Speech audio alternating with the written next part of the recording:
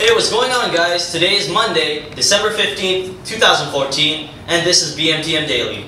I'm your host Mason Umbrato. First up, an Ontario driver is being charged for going the wrong way down Highway 401. The impaired driver was caught around 1.30 a.m. Saturday heading west in a Chevrolet Venture using the busy eastbound lanes. Next up, NASA has launched their new Atlas V rocket carrying a top secret satellite. Although the exact purpose of the satellite is unknown, we do know that it was sent by the US Department of National Defense. Mark Zuckerberg has confirmed that he will not consider a dislike button for Facebook. This is the first step in his new attempt to combat ferocious social media haters.